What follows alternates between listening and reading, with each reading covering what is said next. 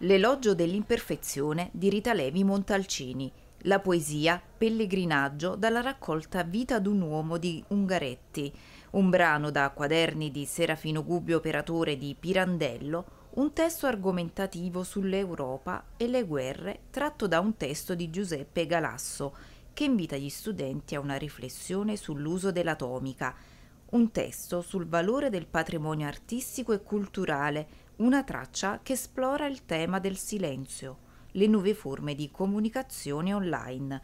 Questi argomenti della prima prova di italiano dell'esame di maturità per 526.317 studenti in Italia al via la prima delle prove. In Campania 96,4% il totale degli ammessi agli esami di maturità di quest'anno.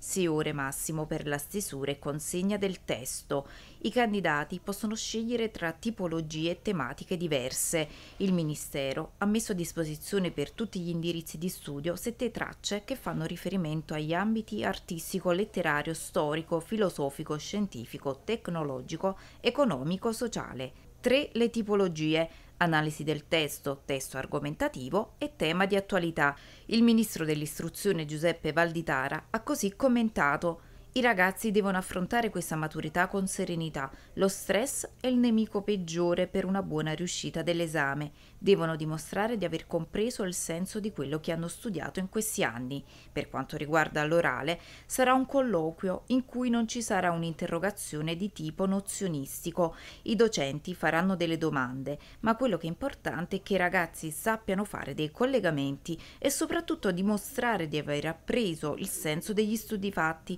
ciò che la scuola e il percorso scolastico hanno dato loro nelle varie discipline.